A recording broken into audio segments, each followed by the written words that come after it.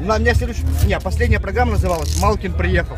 И это всё- Ты одно и то же пять раз говорил. Я у всех спрашивал, говорил, Малкин приехал, и все таки реагировали, а Виталий Ильич говорит, не видел Малкина.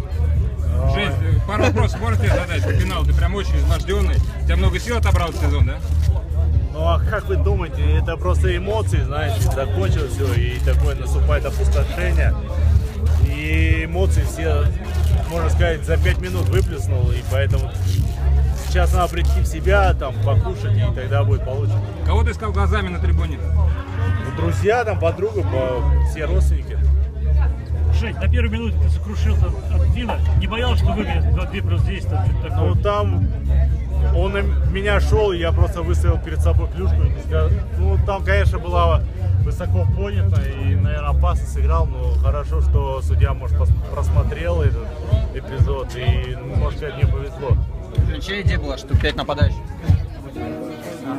Тренировали на тренировке, договаривались, и сегодня утром мы много тренировали этот момент, мы а, видео смотрели, и хорошо, что получилось, конечно, на последней секунде забили, и, конечно, это гол очень важно был для нас.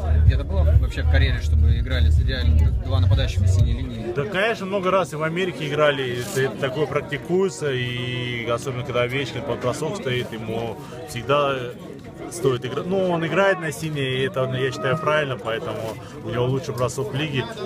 И мы его старались выводить на бросок, но его перекрывали, поэтому у меня появилось место для броска, и я попал там хорошо, закрыли вратаря. Было в Америке такое у тебя, что тренера дисквалифицировали на игру?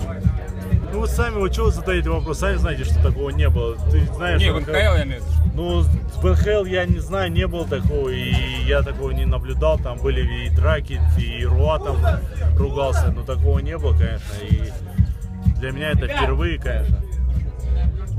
Как лето проведешь? Давайте все, покинем этот... э, Как лето проведешь? Последний вопрос. Я не знаю, я не думал об этом. Корреспонденты, Время покажет. Спасибо. Ребят, спасибо большое.